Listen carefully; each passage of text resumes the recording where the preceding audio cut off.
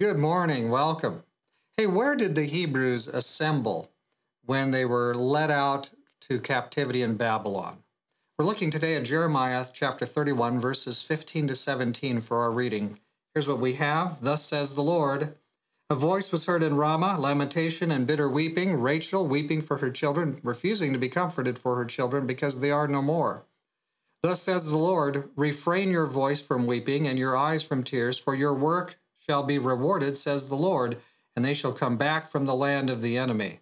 There is hope in your future, says the Lord that your children shall come back to their own border. So we asked, where did the Hebrews assemble for their journey into captivity? Here, I'll show you a little map here of present day Jerusalem and Israel. If you go north there to about the center of the screen, you'll see a place called Ramallah. We think that is probably Ramah, based on some different things the scholars have looked at. They gathered them all up there to as kind of an assembly point, probably about there in Ramah, near modern day Ramallah. And then, of course, they had to go by foot all the way back through the first Fertile Crescent to Babylon. It would be a pretty depressing scene, wouldn't it, for you if you were leaving behind all the things you've ever known, all the things you've built, all of your stuff, your family is getting scattered, everything is scattered, the kingdom is in ruins, and you're being led away to captivity in Babylon. Uh, you could see that would be a, a highly depressing time. Now, we also know that Rachel's tomb, if you go way back there in the Bible, you'll find that Rachel's tomb is in this place. And so we have this interesting picture of Rachel weeping for her children. We have this picture of them as they are being gathered to be hauled away into captivity. Many of them are going to die. Most of them will die in Babylon.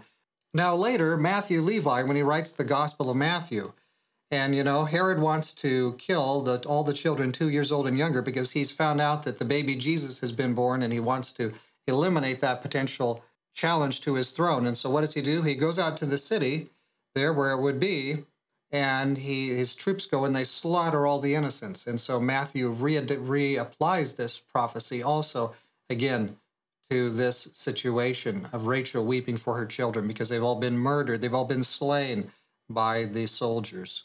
So we have this tragic picture of people being killed, murdered, led to captivity, and Rachel weeping in both cases. But now, what about the return from captivity? Because these are all through here. We're seeing several pictures as we go through this area. We're going to see several pictures of God giving encouragement. He wants his people to be joyful, he wants them to be happy and hopeful as they, yes, go and live their lives mostly in captivity. But there will be a coming back. But what does it take? It takes some repentance. And everybody who receives the gift of Jesus will be able to return from captivity, even though they go away into captivity. And we live our lives, we're just in this mad dash through our lives. We're so busy getting one thing done, going to the next. And a lot of, meanwhile, a lot of crazy things are being done. Term, everything's getting termited and many changes are happening all, all around us. But what we want to do is remember that if we're true to Jesus, Jesus will be true to us. And when we stop this race through our own daily captivity, captivity to the world in many cases, and we look up to Jesus and we look for the things of God, when we when we, our life begins to be filled with these things, we will repent and we will be released from this captivity. God will help us and guide us, and we'll be having a, a joyful time following Jesus, in spite of these strange things happening all round about us. And so, what it says in verse 17 is true. There is hope for your future, hope for the people going into captivity in Babylon, and there's hope for us today, as so much of the things around us is not morally where it should be. And let's pray.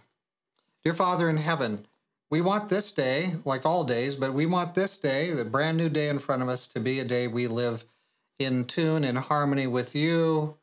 Bless us, Lord. Be our guide today. Make our appointments for us. Help us to speak a word that will encourage another. Help us to receive the encouragement you have for us today. May we put your kingdom first and everything else will be added to us. We know that's true, Lord, and we thank you for it. And we pray this in Jesus' name. Amen.